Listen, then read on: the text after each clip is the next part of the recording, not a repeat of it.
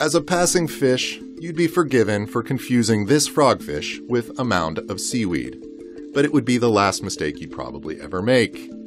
As it turns out, the frogfish is a terrifying ambush predator.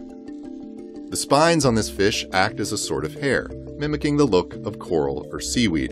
Don't they also kind of look like koosh balls from the 90s? You guys remember that. Come on. In either case, it's the perfect camouflage, but hiding is just the half of it. The frogfish has another trick up its sleeve. Or up its gills, whatever, whatever a fish sleeve really is. When in position, the frogfish deploys an ingenious trick to lure in a meal. It is a fish fishing for fish. Whoa, dude. This striped cardinal fish never sees it coming. It is fooled into thinking there's a worm and not a deadly trap at the mouth of a terrifying predator. The frogfish strikes fast, swallowing its meal whole. Uh, but maybe with a little indigestion. At least it's given it a quick death. I mean, jeez, went down in one fell swoop. Really should eat a little bit slower. I mean, savor your meal.